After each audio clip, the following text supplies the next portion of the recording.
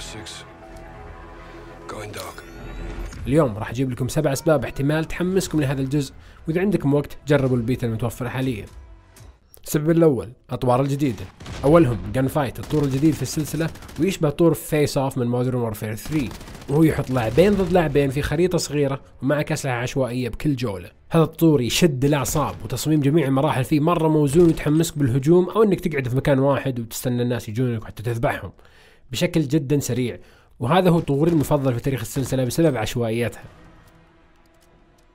Cyber Attack وهذا أيضا طور جديد في اللعبة وقريب من طور عشاق اللعبة المفضل Search and Destroy لكن بعكس Search and Destroy يمديك تنعش أخوياك إذا ماتوا أكثر من مرة. وهدفها فيك إنك تاخذ جهاز EMP وزرعه في ال data center حق خصمك. لما تشيل جهاز ال EMP تقدر تعرف موقع خصمك لأنه يطلع لك رادار على اليسار صغير يبين لك مدى قربهم منك. ولما يقربون حاول إنك تبدل بالسلاح حقك حتى تنتفهم بشكل سريع.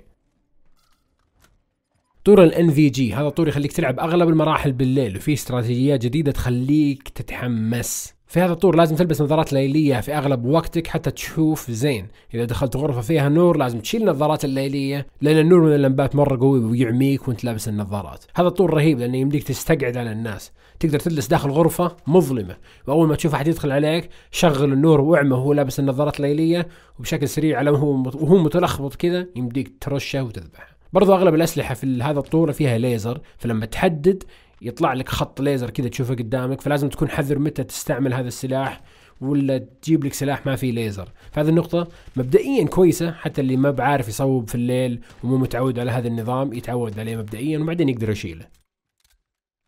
السبب الثاني هي قصة اللعبة. طول القصة في هذا الجزء بيكون مختلف عن الأجزاء اللي قبل. راح تلعب فيها في جماعتين الأولى هم عسكريين تابعين للقوات البريطانية اللي معهم كابتن برايس وجماعة الثوار اللي بتلعب فيها بشخصية فرح. ميزة هذه القصة بأنه مو كل شيء أبيض وأسود فهي بتوضح لك أن الحرب رمادية والكثير من الناس فيها يشتغلون فقط لمصلحتهم. اللعب بين العساكر المسلحين بأحدث الأسلحة بيعطيك الأفضلية وتنوع أسلحة كبيرة بينما اللعب بالثوار بيعطيك موارد مرة محدودة وغالبا بتقعد تستعمل خطط وأسلحة مرة رخيصة. يتوعد استديو Infinity Ward بأن هذه الاختلافات راح تخلي طول القصة مرة منعش وبيخليك تنوع من أسلوب لعبك بشكل مستمر. دائما تكلمت عن أسلوب اللعبة خلونا نجي للسبب الثالث وهو التغييرات في أسلوب اللعب. بعد فترة طويلة من عدم المخاطرة في سلسلة Call of Duty رجعنا للفريق مع مخاطرة جديدة في تغيير أسلوب اللعب. السرعة والتصويب الدقيق موجودين حتى الآن. وصار يمديك الآن تفتح البيبان بشكل جزئي أو بشكل مندفع. الرصاص صار يخترق الجدران وهذا غير قدرتك على تمييل السلاح بشكل خفيف حتى تفتح لك المجال في تصويب كذا بزاوية معينة ومناطق ما كان يمديك تصوب منها من أول. بالإضافة عندك طبعا النور مثل ما ذكرنا صار عامل مرة مهم في اللعب حتى في طور القصة. وبرضه صار يمديك تفتح البيبان ترمي قنبلة وتسك الباب وتخلي اللي جوا ينفجروا من القنبلة. وآخر شيء بمهمات القصة إنها ما راح تكون أغلبها خطية لأن في مراحل باللعبة بتفتح لك المجال في اتخاذ الطريق اللي أنت بيه ممكن تكون مرة هجومي ومندفع ولا تجي بشكل مرة هادي وتتجسس وتذبحهم واحد ورا الثاني.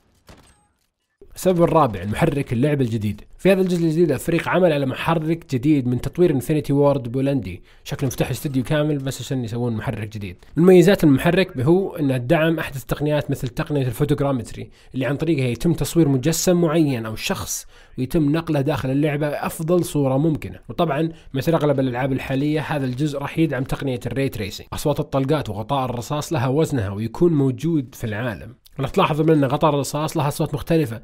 إذا ضرب في الأرض ولا صقع في السيارة راح تسمع صوتين مرة مختلفين في الغطاء حق الرصاص وهو يصقع. برضو استفاد الفريق باستعمال تقنية ال ray tracing حتى ينقلون فيها الأصوات بنفس الطريقة. كمثال صوت الطلقات راح يتحرك وبتحس باختلافه. إذا كنت جنب الشخص اللي يطلق الرصاص أو لما تكون مقابله أو لما تكون خلفه. هذا غير إن الأصوات تختلف إذا كنت تطلق في نفق أو كهف. السبب السادس اللي هو اللعب المشترك.